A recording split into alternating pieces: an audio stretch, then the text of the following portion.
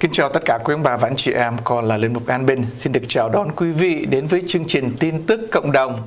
Kính thưa quý vị, trong chương trình ngày hôm nay thì uh, chúng con uh, có những cái những niềm vui của giáo phận Orange của chúng ta. Thì uh, những người mà đem những cái niềm vui đến ngày hôm nay thì uh, trong phòng thu hình ngày hôm nay thì uh, chúng con có sự hiện diện của Đức Giám mục Phụ tá Tô Ma Nguyễn Thái Thành và bên cạnh ngài thì có cha Giám đốc Trung tâm Công giáo cha Hùng. Vậy con à, xin à, kính chào Đức Cha, chào cha và xin Đức Cha và cha gửi lời chào đến tất cả quý khán thính giả. À, kính chào cha Hùng và cảm ơn à, cha Tài đã giới thiệu. À, kính chào quý vị khán thính giả. Tôi rất hân hạnh đến với quý vị trong cái chương trình Việt Media ngày hôm nay. Con uh, kính chào Đức Cha, chào cha An Bình, kính chào quý khán thính giả của Việt Media. Tôi Linh Mục Phạm Ngọc Hùng, Giám đốc Trung tâm Công giáo rất là hân hạnh được uh, hiện diện trong phòng thu hình ngày hôm nay. Vâng, chào Đức Cha và cha một lần nữa thì rất là một cái niềm vui của chúng con được đón Đức Cha ngày hôm nay và con biết là Đức Cha có những cái tin rất là vui muốn gửi đến cộng đồng của chúng ta. Nhưng mà con được biết là Đức Cha ngày xưa là bên Florida và bây giờ thì Đức Cha đã về bên Cali khoảng được 3 năm rồi không phải không Đức Cha nhỉ? À, hơn 3 năm rồi đó, 19 yeah. tháng 12 uh, yeah. 2017. Dạ vâng. Thành ra coi như hơn 3 năm, 3 năm mấy tháng rồi. Đức cha thấy đời sống ở Cali như thế nào? Đức cha có có cái gì thấy là kiểu như là nó đời sống nó có khác cái gì không Đức cha? À, thứ nhất là khi mà tôi rời ở bên Florida qua bên đây thì tôi nhớ làm cha xứ yeah. công việc uh, giám mục thì tương đối nó khác nhiều hơn cha xứ thì cha xứ uh, được cái cái uh, uh, cái vinh hạnh là gần gũi với giáo dân yeah. nói chuyện với giáo dân uh, uh, làm lễ mỗi ngày chủ nhật gặp gỡ họ làm các phép bí tích còn khi làm giám mục thì không được uh, yeah. cái, cái cái cái sự gần gũi đó thí dụ như tôi có đến nhà thờ Saint Columban hay là Saint Barbara hoặc là là là là, là Blessed Sacrament Westminster thì tôi tới tôi thăm một lần rồi nói chuyện rồi chụp hình rồi sau đó không biết chừng nào tôi có thể đến lại là cái sự gần gũi nó mất mát đi nhưng mà nếu như thế này cái đời sống ở bên uh, Cali này thì uh, thì tương đối khác hơn bên bên uh, bên Florida. Yeah. nhưng mà tôi thường chia sẻ với lại giáo dân là tôi thích cái khí hậu bên này. Dạ yeah, vâng. Và nhưng mà cái uh, traffic thì tôi không thích. À, hơi nhiều xe phòng ừ, đức cha? năm yeah. bốn năm à, nhưng mà tôi có kể câu chuyện của một uh, ông cha à, Ái Nhi Lan khôn ngoan ông cứ chia sẻ với tôi là cha Thành ơi khi nào mà cha đi qua một cái giáo sư mới một nhiệm sở mới thì giáo dân ở đó họ sẽ đối xử với cha là rất là tốt đẹp trong vòng 100 ngày à. nhưng mà sau đó thì là coi như tuần trăng mật của cha coi như là xong yeah. thế nhưng mà bây giờ trưa hơn 3 năm thì tôi cũng có thể nói với quý vị là uh, tuần trăng mật của tôi đối với địa phận Orange vẫn còn Ồ, oh, vậy là tạ ơn Chúa phải không Đức Cha? Tạ ơn Chúa, tạ ơn Chúa. Đức Cha thấy đồ ăn bên này so với đồ ăn ở bên đó như thế nào thưa Ồ, oh, đồ ăn bên này thì quá tuyệt rồi, thấy tôi yeah. lên được mấy pound rồi đây này. vâng, thì uh, bây giờ con uh, sẽ trở với lại với cha Hùng. Thì cha Hùng ngày xưa cha cũng là một cha sở, rồi bây giờ về làm cha giám đốc ở trung tâm công giáo thì uh, có thay đổi gì không cha? Cũng uh, gần tương tự như Đức Cha nhưng mà không có tệ như Đức Cha. ngày xưa tôi nhớ tôi làm chánh sứ ở giáo sứ La Purissima cộng đoàn Orange thì uh, một ngày làm 4 năm lễ. Yeah. ngày chủ nhật ba bốn lễ năm lễ là chuyện bình thường. Rồi lễ an táng lễ cưới uh, gặp gỡ giáo dân suốt ngày trường học giáo lý. Còn bây giờ thì một ngày chỉ có một lễ. Phần lớn cái thời gian của mình yeah. là là văn phòng và điện thoại uh, computer. Uh, nó không hẳn là công việc của một linh mục nhưng mà không làm vậy thì nó không không xong được việc. Uh, rất là nhớ cái sinh hoạt của uh, của uh, giáo sứ. Uh, đồ ăn và khí hậu thì nó cũng vẫn vậy không có gì khác đâu still the same. Still the same. Traffic still the same. Nhưng mà được cái uh, không phải uh, chạy đi chạy lại nhiều. Uh, cũng có uh, giải tôi cũng có sức dầu nhưng mà phần lớn là chạy từ tòa giám mục về trung tâm công giáo một tuần ít nhất là cũng hai ba lần. Vâng, con cũng cảm ơn cha bởi vì qua những cái thông tin của uh, trung tâm công giáo thì uh, cộng đồng cũng nhận được rất là nhiều tin. Và con xin hỏi Đức cha là uh, trong những ngày tháng qua thì uh, giáo phận của chúng ta có một cái project về linh đài Đức Mẹ La Vang. Thì con không hiểu là bây giờ cái chương trình đó như thế nào rồi thì Đức cha có thể chia sẻ với tất cả quý ông bà và anh chị em. Nói đến linh đài Đức Mẹ La Vang thì tôi lại nhớ đến mấy ờ, câu hát của của uh, cha Thành Tâm uh, là người gieo trong đau thương yeah. Dạ. uh, về giữa vui mừng uh, gạch trong ha, trong tiếng hát ca thì linh đài Đức Mẹ La Vang đã có trước khi tôi về đây. Yeah. Dạ. À, nhưng mà qua cái chương trình này thì thấy rằng giáo dân ở đây uh, rất là mồ mến Đức Mẹ yeah. Dạ. uh, và đã cộng tác với nhau đóng góp tổ chức uh, để rồi có được uh, ngày hôm nay là cái chưa chương trình uh, đã được uh, xây dựng và sẽ uh, hoàn thành vào yeah. Dạ. tháng 5 năm nay wow. và vâng. uh, chương trình là sẽ có ngày uh, làm phép thánh hiến yeah. trong ngày 17 tháng 7 năm 2021 wow, năm nay. Vậy là rất là gần rồi. Dạ rất vâng. gần. Dạ. Nhưng mà tôi sẵn dịp đây tôi cảm ơn tất cả quý vị. Tôi để uh, xin chia sẻ cái câu chuyện của một cụ già trên 80 tuổi mà uh, đưa cho tôi một cái phong bì À, mà trong cái phong bì đó là toàn là tờ 100 wow. à, đến chừng khi tôi về lại văn phòng tòa giám mục á, thì mới đếm ra là tới 30 ngàn wow một bà cụ trên 80 tuổi thì tiền đâu mà cho linh đài Đức Mẹ La Vang như thế.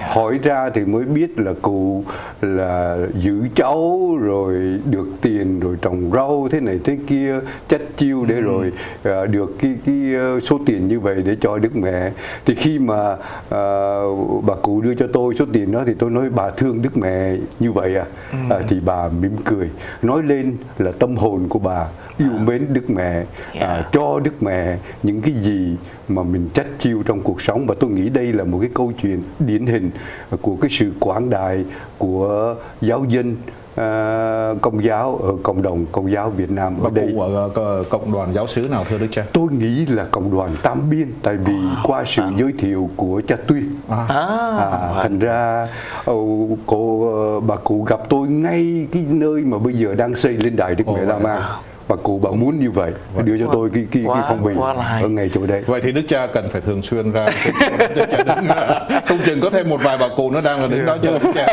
con nghĩ là khi mà đây là một cái ví dụ điển hình thôi nhưng mà con biết là rất là nhiều quý vị cũng có một cái lòng yêu mến đức mẹ rất là nhiều và tiện đây thì cũng con cũng hỏi cho hùng là cha hùng là trong cái committee này thì à, cái sự đóng góp của cộng đồng Việt Nam như thế nào và cái bây giờ thì chúng ta đã có đủ tiền thưa chưa chưa thưa cha? Thì uh, như đức cha vừa nói người đi dòng gieo trong đau thương của chúng ta đã à. bắt đầu uh, cái công trình xây cất này bằng một cách quyên góp uh, rất là quảng đại của nhiều người của nhiều uh, gia đình của nhiều cộng đoàn khác nhau. Và cho đến ngày hôm nay thì công việc đó đã sắp hoàn thành uh, cái giai đoạn thứ nhất đã sắp hoàn thành uh, hình như là mình thu được 9 triệu khoảng đưa đức cha phải wow. được 9 triệu để xây yeah. cái, uh, cái, cái, cái, cái giai đoạn thứ nhất đoạn tại vì trong cái chương trình nó có hai giai đoạn giai đoạn thứ nhất là yeah. cái cái linh đài tượng đức mẹ và quảng trường ừ. và cái giai đoạn thứ hai tức là vườn mân côi yeah. Rosary Garden yeah. nằm sau yeah. đó tức là phải 2 triệu nhưng mà 9 triệu mình được rồi thành ra tòa giám mục cho phép mình xây vâng thì như đức cha vừa nói chúng ta đã được 9 triệu rồi chúng ta còn thêm 2 triệu nữa và trong cái thời gian tới chúng ta đang là thực hiện cái công việc gọi là ngày cung hiến và yeah. Dạ. sau đó những số tiền chúng ta thu được sau khi chi phí cho ngày cung hiến rồi sẽ thực hiện cái giai đoạn thứ hai là xây vườn mân côi thì uh, để thực hiện cái công việc gây quỹ uh, thì chúng tôi có sẽ thực hiện hai cái chương trình um, gây quỹ đó là sổ số cho cái mob mm. Hermes và cái uh, xe either Lexus hoặc là Tesla oh, và wow. ngày 17 tháng 7 quý ông bà và anh chị em nhớ ghi sổ ngày 17 tháng 7 năm nay như Đức Cha vừa mới nói là chúng ta sẽ có ngày cung hiến linh đài Đức Mẹ La Vang sau linh đài uh, sau khánh lễ chúng ta sẽ có chương trình văn nghệ kính Đức Mẹ và sau văn nghệ chúng ta sẽ có chương trình sổ số Wow. Nhưng mà con biết hình như là có hai chương trình sổ số phòng Đức Cha, một cái bóp với lại một cái xe nữa thì vâng. bây giờ uh, cha có thể chia sẻ cái giai đoạn thứ nhất vâng. là sổ số nó như thế nào và vâng, giai đoạn thứ hai uh, như con thế đang nào? là suy nghĩ thì cha gọi con bằng Đức Cha con hết hồn. Uh,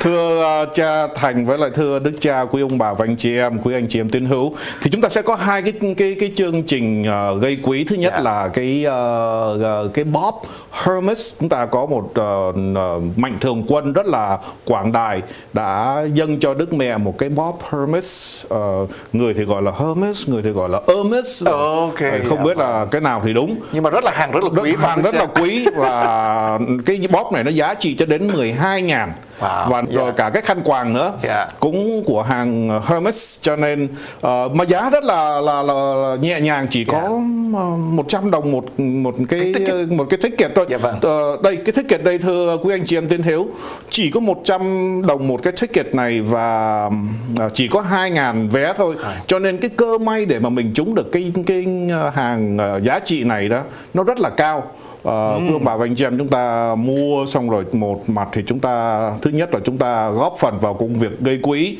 thứ hai là chúng ta thử xem cái thời vận của mình nó đã tới ừ. chưa yeah. biết đâu nó tới và chúng ta làm một công hai ba chuyện uh, vừa uh, góp phần gây quỹ rồi vừa uh, uh, thử cái thời vận của mình và cái ngày sổ nó sẽ là ngày nó sổ à. trước uh, ngày vào ngày 27 à. tháng 7 26 26 27 tháng 6 xin lỗi ngày 27 tháng 6 yeah. à, rồi sau đó thì ngày 17 tháng 7 mình sẽ có sổ số hai cái xe, cái xe, cái xe. Cái xe. Dạ, vâng. à, quý vị có thể cái giải động đất đó là cái uh, cái xe cái độc vâng. đắc là cái xe rồi uh, nếu mà ai thích Tesla thì Lấy sẽ Tesla. Uh, lái cái Tesla về ai thích cái Lexus, Lexus thì à. thích lái cái Lexus vậy mà nhưng mà chúng tôi xin thưa luôn ở đây là chỉ có cư dân của California thôi quý vị nhé ừ. quy cư dân của California thôi bởi vì cái luật của California khi mà chúng ta thực hiện cái chương trình sổ số vâng. thì chỉ là cho California thôi. Dạ vâng. vâng.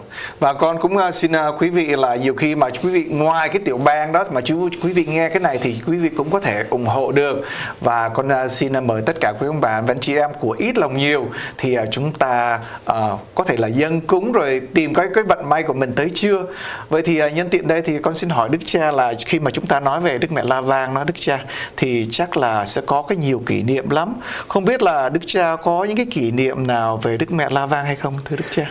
À, có à, khi tôi còn ở bên Việt Nam thì bà ngoại của tôi là người Quảng Bình Quảng Bình và Quảng Trị La Vang rất gần thành ra bà ngoại tôi lại thường xuyên đi đến uh, uh, linh đài ở Đức Mẹ La Vang ừ. ở Quảng Trị ừ. có lẽ là khoảng 2 năm một lần và tôi cũng nghe uh, bà ngoại uh, nói về uh, vấn đề cũng nên sùng kính Đức Mẹ đọc kinh Minh Côi uh, À, còn bên Việt Nam thì tôi không có được có cơ hội để mà đi qua bên uh, ừ. uh, bên, uh, bên bên linh đại Đức Mẹ La Vang nhưng sau một năm được chịu chức giám mục thì tôi được uh, vinh dự đi về Việt Nam tham dự uh, thánh lễ nhậm chức của Đức uh, Tổng Thiên, dạ, vâng. Tổng Giám mục uh, Hà Nội. Thì trong dịp đó có Đức Cha Ven, có cha Thành dạ. Tài với tôi thì tôi được hân hạnh dân thánh lễ ngay tại linh đài Đức Mẹ La Ban bên Việt Nam wow. để mừng kỷ niệm ừ. một năm làm giám mục wow. à, và tôi à, và tôi cũng xin Đức Mẹ à, cầu bầu để giúp à, tôi trong cái công việc mục vụ làm giám mục và phụ tá ở đây à, ở trong địa phận Orange. Yeah. À. Còn à, về cha Vincent thì sao thưa cha là cha có những cái kỷ niệm nào để chia sẻ với quý vị à, để chúng ta thấy cái hồng ân của Đức Mẹ cho chúng ta? Vâng, à, thưa Đức Cha, thưa cha An Bình, thưa quý anh chị em tín hữu, tôi cũng có một cái kỷ niệm rất là đặc biệt.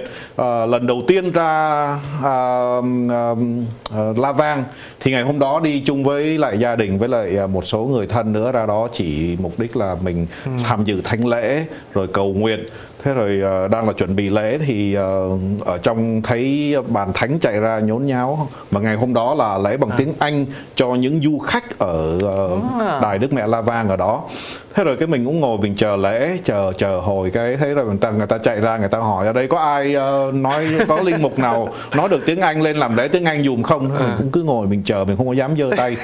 Họ hỏi mãi rồi cuối cùng phải giơ tay nói tôi tôi nói được tiếng Anh. Thế là họ mời lên uh, làm lễ. Thực ra thì họ cũng đã kiểm cái cái cái cái thẻ linh mục của à, mình xem có phải là vâng. linh mục thiệt wow. hay là linh mục giả uh, thì mình lên mình làm lễ lễ xong cái họ hỏi chú của cha người uh, nước ngoài hay là người trong nước? Thôi tôi người trong nước. Vâng con cảm ơn cha những cái chia sẻ rất là vui. Và kính thưa quý vị chương trình sẽ tạm dừng trong đôi lát sau đó chúng con sẽ trở lại với phần tin tức Vâng, à, kính chào quý vị và chúng con rất vui mừng được trở lại để chia sẻ những niềm vui của giáo phận Orange trong những ngày sắp tới. Thì à, trong phần trước chúng ta có nghe sự chia sẻ của Đức Cha và cha Hùng ở đây. Vậy thì bây giờ con xin hỏi Đức Cha và cha Hùng là um, để chuẩn bị cho một cái event mình à, khánh thành lên đài Đức Mẹ La Vang như vậy thì con biết là cái công việc chuẩn bị sẽ rất là nhiều. Vậy thì uh, cha hùng có thể chia sẻ là mình phải làm như thế nào, rồi vé mình phải mua ở đâu, rồi mình phải liên lạc với ai, thưa đức cha và cha? Vâng, à, thưa Đức Cha với à, cha Thành Tài, à, quý anh chị em tín hữu thì chúng ta sẽ tiếp tục chuẩn bị cho ngày hôm đó. Nếu như tới ngày 17 tháng 7 mà dịch bệnh nó đã hết rồi thì mời tất cả quý ông bà và anh chị em à. chúng ta đến linh đài Đức Mẹ La Vang. Cái quảng trường nó rất là rộng có thể lên ngồi lên tới mười mấy ngàn người ở cái cái cái cái khu đó. Còn nếu như mà nó bị giới hạn thì chúng ta sẽ theo cái luật của California để chúng ta uh, tham dự thánh lễ. Và tôi trở lại cái vấn đề vé một chút xíu là cái vé này hiện tại đang là ở trung tâm công giáo.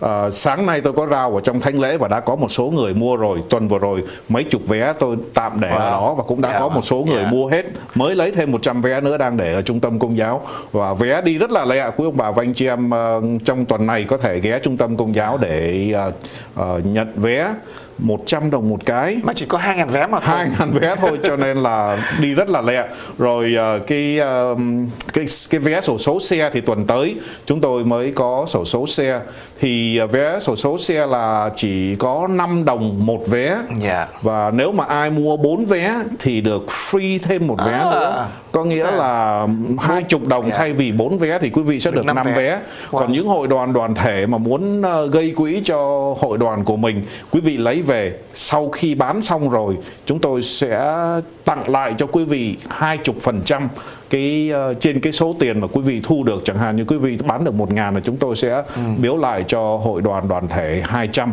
uh, và thưa quý vị khi mà chúng ta nói đến linh đài Đức Mẹ La Vang thì rất là nhiều uh, người muốn uh, hỗ trợ uh, cho nên cái công việc bán vé tôi nghĩ nó sẽ rất là là, là được nhiều người ủng hộ đó.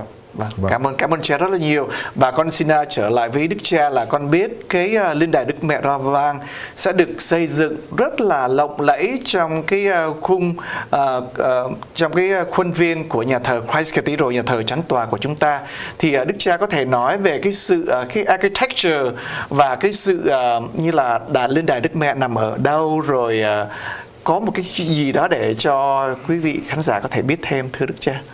Rồi tôi thấy là cái uh, cái kiến trúc của nhà thờ chính tòa rất là tân thời dạ vâng. và khi chúng ta bỏ được uh, đức giám mục Kevin Van cho xây cái cái cái linh đài Đức Mẹ La Vang nằm trong khuôn viên của nhà thờ chính tòa thì tất cả các kiến trúc sư cũng phải đi theo cái uh, kiến trúc tân thời đó. Dạ. À, thành ra uh, tôi thấy có một điều mà tôi chia sẻ với quý vị đó là cái tường Đức Mẹ nó cao khoảng 12 feet À. và nếu mà có cái bề là 6 feet nữa thành ra coi như tính từ dưới đất đôi lên là 18 feet mà tôi được hân hạnh đi qua bên Ý tại vì cái tượng Đức Mẹ làm. Dạ. ở bên Ý yeah. Dạ. à, thành ra coi như tôi đã qua bên đó và thấy được là họ lấy đá Carrara tức là cẩm thạch Carrara cái ừ. cẩm thạch rất là nổi tiếng mà yeah. Dạ. nếu quý vị rành rẽ về vấn đề ở bên uh, bên Rome là là Michelangelo đã ừ. dùng cái wow. cái đá yeah. cẩm thạch này để mà tạo cái làm cái cái cái tượng uh,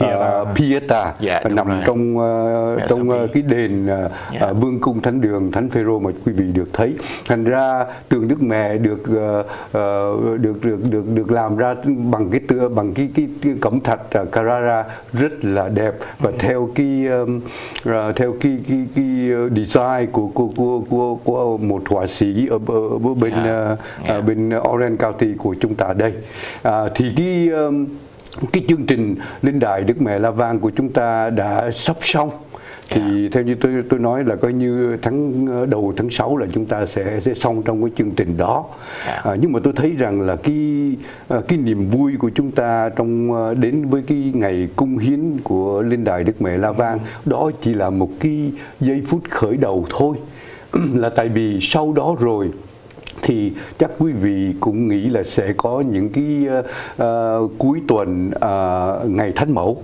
Yeah. Dạ. À, thì chắc chắn là ngày thánh mẫu ngay bây giờ thì tôi cũng chưa biết là mình làm sao nhưng mà tôi nghĩ là là với cái sự cộng tác của quý vị và cái sự năng động ở đây thì chắc chắn là mình cũng sẽ có nhưng mà riêng tôi thì tôi thấy là sau đó đó thì cứ mỗi ngày thứ bảy đầu tháng thì tôi sẽ dâng thánh lễ ngay tại linh đài Đức Mẹ La Vang vâng. ở ngoài trời. Vâng. À, thành ra có thể chúng ta đến để thăm Đức Mẹ thường xuyên hơn à, chứ không một năm mà trời chỉ có ngày thánh mẫu thì chỉ có một lần à, thành ra còn có nhiều các hoạt động khác yeah. Dạ. mà từ cái linh đài đức mẹ la vang mà chúng ta có thể đến với mẹ để rồi khi đến với mẹ chúng ta hy vọng mẹ dẫn chúng ta đến yeah. Dạ. với chúa kitô Dạ vâng, thì con cảm ơn Đức Cha chia sẻ những cái niềm vui và bản thân con cũng là một linh mục nhưng mà con cũng cố gắng trong cái khả năng của mình đóng góp một cái như là một cái viên gạch để vào cái khuôn viên của Đức Mẹ như vậy.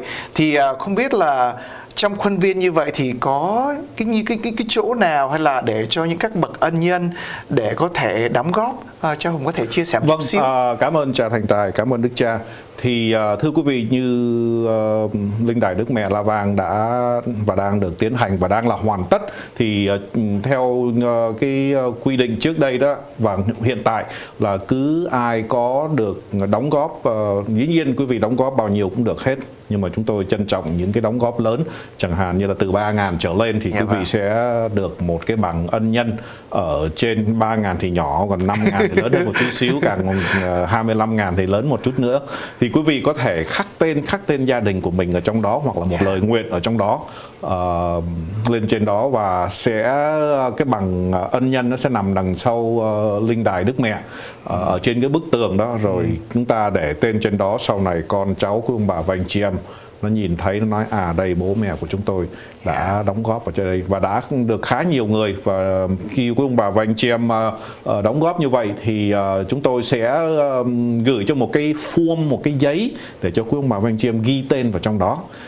Nếu mọi chi tiết thì cứ liên lạc với trung tâm công giáo chúng tôi thì yeah. chúng tôi sẽ hướng dẫn thêm uh, như đức cha vừa mới trình bày là sau này sẽ là cái địa điểm hành hương không chỉ cho người ở Orange County nhưng mà trên toàn thế giới. À. uh, mỗi một uh, thứ bảy uh, một tháng như vậy ngày thứ bảy đầu tháng sẽ có thánh lễ do chính đức cha cử hành. Rồi uh, chúng ta cùng đến để uh, để uh, kính đức mẹ ngày 17 tháng 7 chỉ là khởi đầu và sau đó chúng ta sẽ có ngày thánh mẫu có những chuyến hành hương có những ngày uh, học hỏi và uh, suy ngẫm về Đức Mẹ ngay tại linh đài Đức Mẹ. Vâng. vâng. À, cảm ơn cha đã chia sẻ những cái thông tin rất là hữu lợi cho chúng con và kính thưa quý vị thì à, trong đời chúng ta thì không ai mà không đến với Đức Mẹ thì con nghĩ là chúng ta nhận được ơn của Đức Mẹ rất là nhiều rồi những ngày vượt biển rồi những ngày những ngày mà chúng ta đến nơi đất nước Hoa Kỳ được hưởng rất nhiều những hồng ân của Thiên Chúa và Đức Mẹ và đây cũng là một cơ hội để cho tất cả chúng ta có thể đóng góp một cái phần nhỏ của mình để cho cái linh đài của Đức Mẹ được lộng lẫy hơn và nhiều người biết đến và con nghĩ là khi mà chúng ta có một cái sự lộng lẫy của Đức Mẹ như vậy nằm trong một cái khuôn viên uh, trong ngôi thánh đường chính tòa như vậy thì không những là người Việt Nam mà tất cả những người ngoại quốc nữa thưa Đức Cha họ sẽ đến để um, thăm viếng và cũng như là biết về cái tiểu sử của linh đài Đức Mẹ La Vang. Thì con nghĩ đây là một cái cơ hội rất là tốt.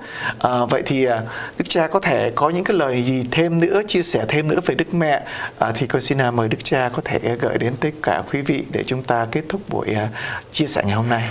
Tiếp theo lời của cha thành tài là cái sự uh, uh, sùng kính Đức Mẹ, à, tôn sùng Đức Mẹ à, là một cái sự cống hiến lớn trong vấn đề thiêng liêng cho người Mỹ ở đây và tôi thấy rằng đây là một cái điều mà chúng ta nên hãnh diện để cùng làm chung với nhau để cho những người công giáo uh, ở trong địa phận Orange uh, ngoài người Việt Nam dạ họ vâng. thấy được vấn đề đó nhưng mà nhắc lại cái lời của cha thành tài là trong cuộc sống của chúng ta chúng ta đã nhận lãnh nhiều ơn lành của Đức Mẹ. Ngay cả chính tôi, tôi đi vượt biên với gia đình 18 ngày trên biển cả và 10 ngày không có gì ăn uống và nhưng mà gia đình chúng tôi lại trung thành trong vấn đề đọc kinh mân côi à, mỗi ngày sáng hôm. Và tôi tin tưởng rằng qua lời cầu bầu của mẹ Maria mà chúng tôi gia đình 26 người trên uh, trên chiếc thuyền đã đến Philippines uh, an bình tất cả sống sót. Và đó cũng là một trong những cái câu chuyện mà chắc có lẽ cũng uh, đưa quý vị nghĩ lại trong cái cuộc sống của quý vị. Uh, thành ra đây là cái cơ hội để chúng ta cảm tạ hồng ân của Đức Mẹ đã uh, ban uh, cho chúng ta qua lời cầu bầu của mẹ. Và rồi cũng từ đó chúng ta tụ họp với nhau để dưới uh, uh, núp bóng Đức Mẹ yeah. Uh, để xin Đức Mẹ cùng đồng hành uh, trong cái cuộc sống uh, lữ hành của chúng ta trên dương thế. Chắc chắn có nhiều lúc đau khổ và và uh, khó khăn cô đơn uh, thì có mẹ đi cùng. Thì như vậy thì chúng ta được an ủi rất nhiều và đó là cái lời uh, mong mong ước của tôi uh, đến với quý vị để rồi chúng ta có được một nơi để có thể uh, Vâng, con xin mời cha chia sẻ những lời cuối. Về vâng, cảm ơn cha Thành Tài. À, vâng, tiếp lời Đức Cha, chúng ta uh, có Thiên Chúa phù hộ cho chúng ta, chúng ta có Đức Mẹ cầu bầu cho chúng ta và bây giờ chúng ta bày tỏ lòng biết ơn của mình với Thiên Chúa qua việc uh, cùng nhau thực hiện công việc ờ, gây quỹ này. Và sau này khi chúng ta có được linh đài Đức Mẹ La Vang rồi, lòng mến Chúa, lòng yêu người và lòng sùng kính của Đức Mẹ của chúng ta sẽ mỗi ngày một uh, mạnh hơn. Uh, chân thành cảm ơn quý uh, anh chị em tín hữu đã lắng nghe chương trình ngày hôm nay, đã theo dõi chương trình của chúng tôi và rất mong cũng được uh, quý vị tiếp tục uh, hỗ trợ để công việc chung của chúng ta sẽ yeah. sớm hoàn tất một cách tốt đẹp. Và nhớ là ngày 17 tháng 7. 17 tháng 7, 7 là ngày cung hiến và ngày 27 tháng 6 sẽ là ngày sổ số. Vâng. Một lần nữa con à, xin kính chào Đức Cha, chào cha và con xin chúc Đức Cha và cha luôn được đầy tràn hồng ân của Thiên Chúa và Đức Mẹ và con xin à, cũng cảm ơn tất cả quý khán giả và xin Chúa và Đức Mẹ luôn ban mọi ơn lành cho chúng ta. Xin kính chào tạm biệt.